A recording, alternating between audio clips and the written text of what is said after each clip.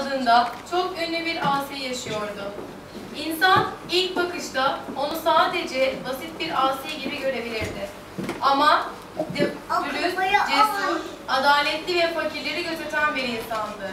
Yeryüzüne o güne kadar onun gibi hızlı ve büyük bir ustalıkla okunu yaya takıp atan bir insan gelmemişti. Robin Hood ve arkadaşları ormanın derinliklerinde çeşitli yoksulluklar ve sıkıntılar içinde yaşadıkları halde hallerinden hiç şikayet etmezlerdi. Asi oldukları için toplumdan uzak yaşıyorlardı. Fakat halkın yardımına hemen yetiştikleri için halk onları çok seviyordu. Robin Hood 18 yaşındaydı. Oldukça atak bir gençti. Bir gün Nottingham şerifinin bir ok yarışması tertiplediğini ve birinciye mükafat olarak büyük bir ödül verilebileceğinin haberini aldı.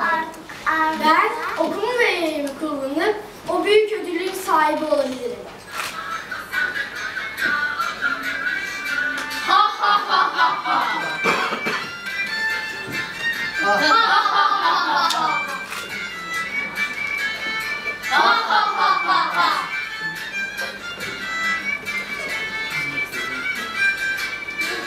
Ey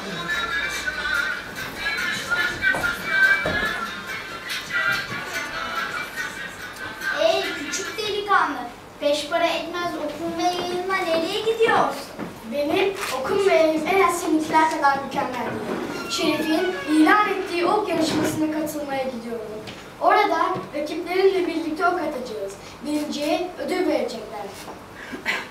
Oğlum senin ne haddine ok atmak? Daha ağzın süt kokuyor. 300 metre yükseklikteki ben. Şimdi deneyemediğimiz için övün bakalım kendine. Hey dinleyin bakalım. Şu geyik görüyor musunuz? Şimdi or- oradan birini vuracağım.